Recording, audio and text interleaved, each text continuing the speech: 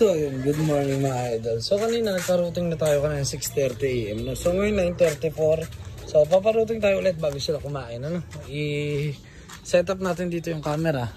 Kung natin tripod. Para sa ganun, kitang-kita nyo yung paglabas ng ating mga ibon. Ano? Alright. Yeah, siguro, set up ko lang mga idol. Ha? Alright. Then, yung natin konti. Pwede na yan. At parondahin na natin sila. Let's go.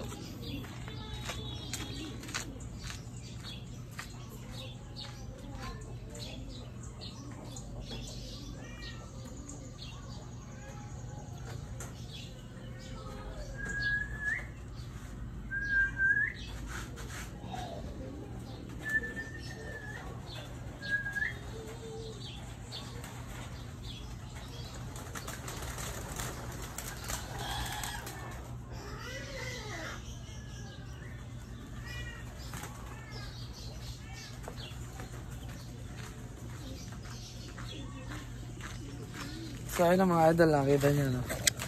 So pinaruting na sila. Then pagbaba nila dyan, tama-tama is meal time na nila, no? breakfast na nila. Ayan. So, hindi na masyadong lalayo yan mga idol. Kasi rumuting na kaninang maga yan. Ayan. Siguro mga around, ano lang yan, 10 minutes, 15 minutes yan.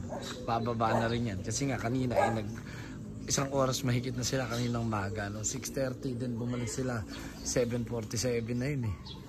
Oh, ayan. Tumataas pa rin naman sila. Mukhang magtatagal pa to at mukhang lalayo. Alright. At syempre, habang sila umiikot, nagkudkud na tayo kanina maga. Then magkukudkud tayo ulit ngayon para hindi naaapak-apakan yung kanilang mga droppings. Let's go. Alright. So ayun mga idol, makikita nyo yun. Magkudkud na tayo. Malinis na. Syempre, yung dalawang YB natin, andun na sa kabila. Ano? So, droppings check tayo. Dito, hindi ko kinukudkud to. Dito mga idol, kung magkudkud ako dito every other day, ano? Kasi maganda rin sa ibon yung init ng singaw ng dropping sila. Yung sa lapag lang. Kasi yung dito hindi naman nila naaapakan. Yung dito lang. So, droppings check tayo mga idol. Diba? Napakaganda. Solid na solid, oh.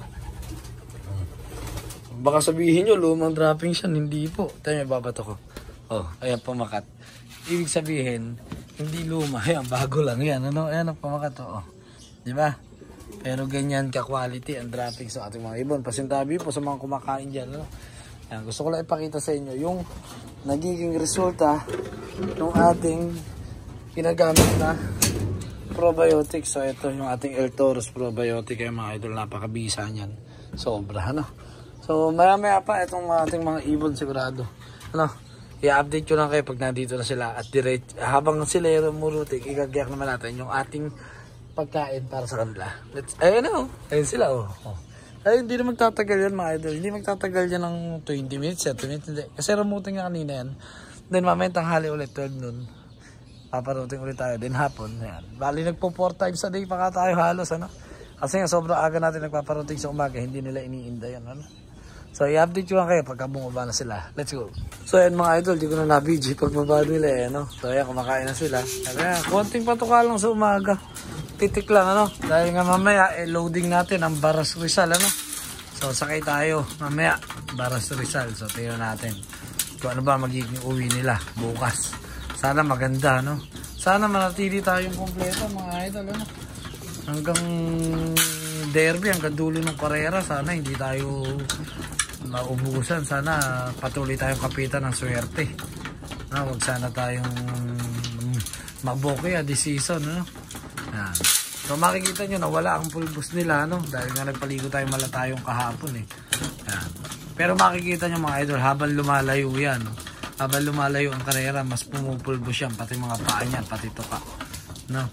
Dahil ngayon syempre sa pag-aalagang ginagawa natin sa mga supplements, vitamins na binibigay natin sa kanila, eh napakainam yan sa ibon mga idol. No? Ah, makikita nyo naman ganado kumain yung ating mga barata birds. No, hindi sila pihikang kahit ano, kumbaga, kahit ano ilaglag mo dyan, kakainin nila yan. No, di ba? So, ganyan lang mga idol. Ang kailangan lang talaga natin bilang panshare, bilang ah pigeon racer, eh, tiyaga, ano, sipag. Sipag at tiyaga ang kailangan natin. Hindi, hindi pwedeng tatamad-tamad. Uh, sa tingnan nyo mga idol, yung mga kulay ng mga mata ng ibon natin. Buhay na buhay ang kulay ng mga mata nila. Kumbaga gising na gising, ano?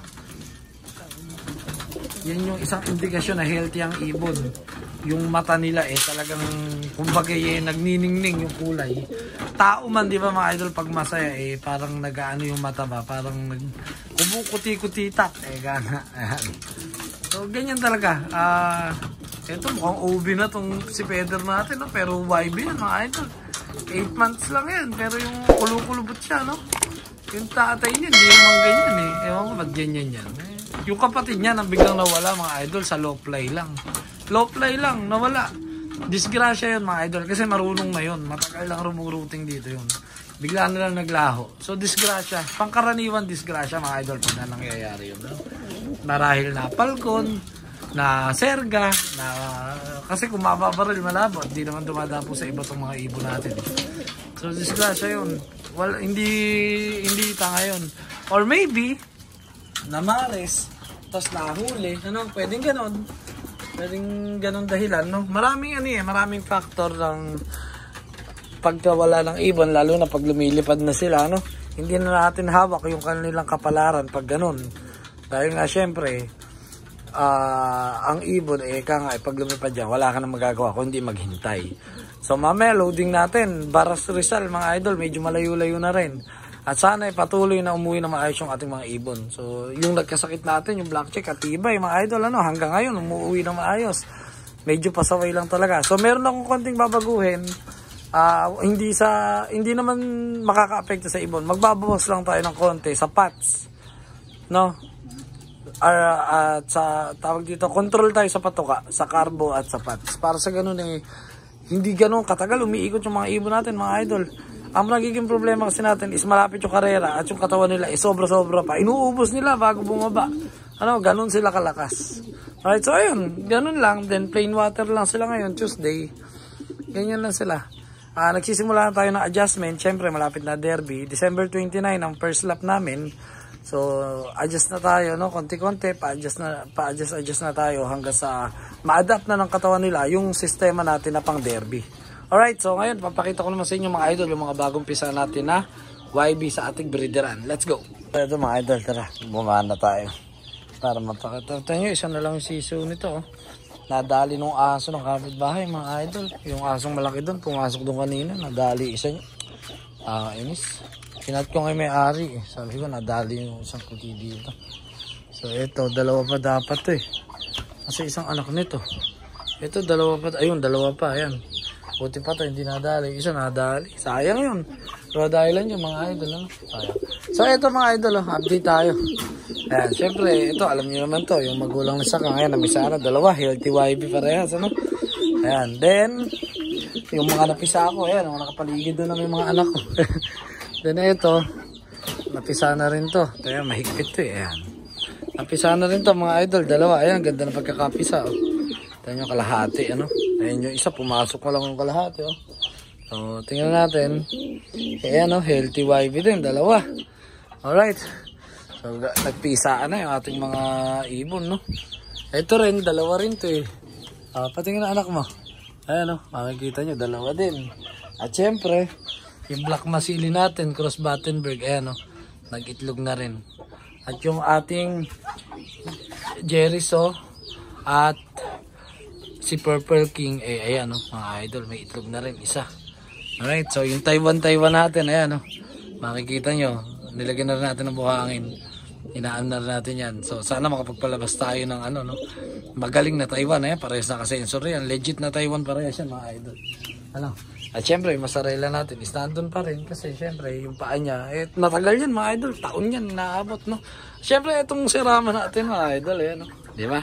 So, yun ang hihinang update do sa ating mga off-color sa baba. Tara, silipin natin. Let's go. Ito mga idol, nandito na tayo. So, may mga nangihinang update, kamusta na daw yung mga barless dito. So, ito yung mga barless.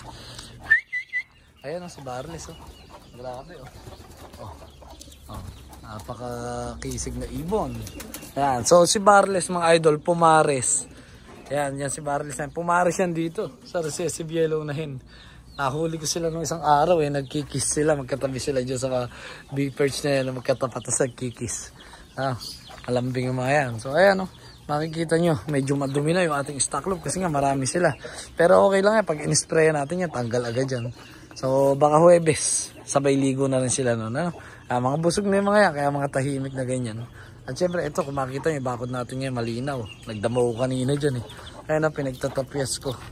Yung mga damo dyan sa kabila. Bumitin ako dito sa bakod eh, tapos pinagtataga ako para hindi gumagapang dito. Yan, ang ganda niya, no? Yan, yan, mga nalalanta na yung mga natira. O, kasi putol na sa babayan, ano? Ah, kaya medyo pagod ako eh. Kasi dami kong, dami kong ginawa ngayong maga, ano? Naglinis ako dito sa paligid. Kasi nga eh, ang dilim na mga idol, dilim ng tingnan dahil nga doon sa damo sa bakod, ano? Yan, ganda ni Barles, oh.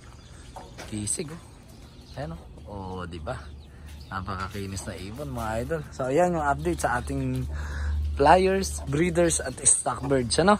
So, sana nagustuhan nyo. At syempre, kung bagong pasok ka man dito sa ating YouTube channel, eh, welcome na welcome ka dito, ah. idol na pumasok anytime. So, click mo na rin yung subscribe button at notification bell para lagi ka updated sa mga new uploads natin, ano? At ay mukhang may hen na naman na iitlog doon. No? Mga umiitlog yung hen sa busog. Ano? Sa mga OFW na nanonood sa atin, maraming maraming salamat po sa inyo. Ha? Saka syempre sa mga silent viewers, silent supporters natin na walang sawang nakasuporta. Eh maraming maraming salamat po sa inyo. Sa mga hindi nag skip ng ads, eh maraming maraming salamat syempre. Ano? At kung kayo ay nag skip man, eh wag na po kayo mag-skip mga idol para may pambili tayo ng vitamins at patukan ng ating mga ibon. Let's go!